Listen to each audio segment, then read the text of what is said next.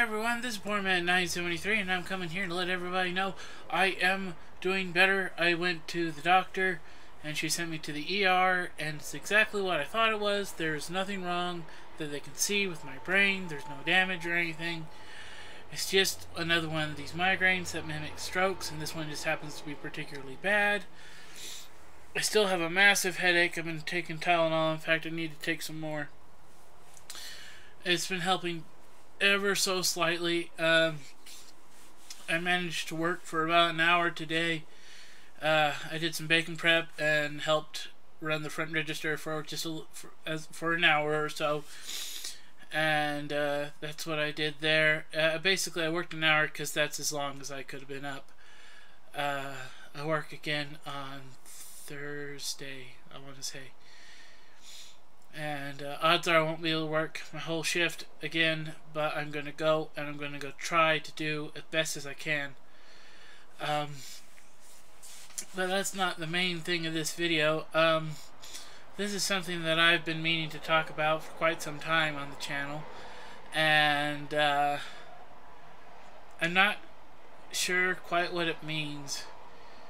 When I lay down and go to sleep, I'll often imagine or mime stabbing myself in all sorts of different ways, like you know, uh, or it it's very disturbing and I'm fairly certain it's not normal. I at the moment I still I don't have any urge to die but this seems extremely odd and I don't know I just thought I would come here and finally finally share it because this has been going on for I don't know maybe a year or so and it happens almost every night and that's can't be very healthy and uh, I just I don't know I felt like I needed to tell someone something and uh, usually when that happens I go to you guys here on the channel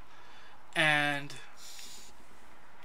I I don't know. I just like I said, I don't I don't like sitting here I have no urge to die. When I go to sleep I have no urge to die. But I don't know, is it maybe it's a habit I picked up when I wanted to die? And I just didn't stop or I don't really know. But I just, I don't know. But anyway, uh, but yeah, I'm doing better. Um,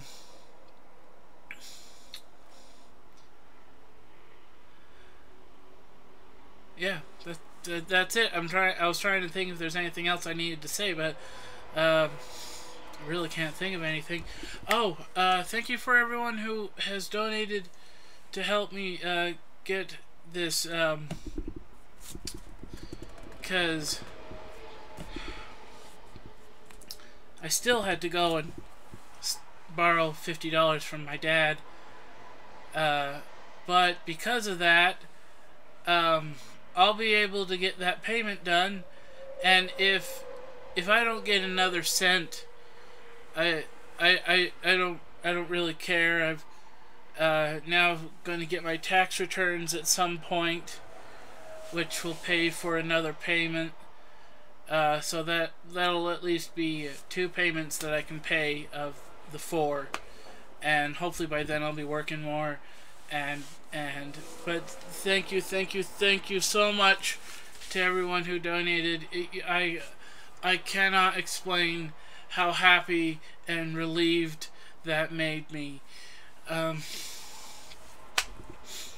because they weren't going to let me push it back anymore.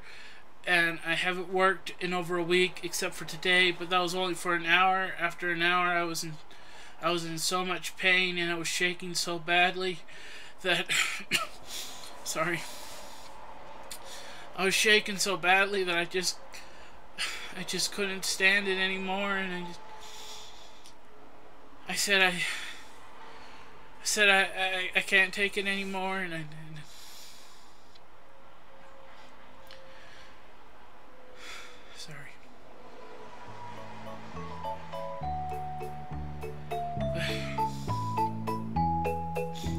Anyway, this has been Poorman 973. I hope you all have a nice day.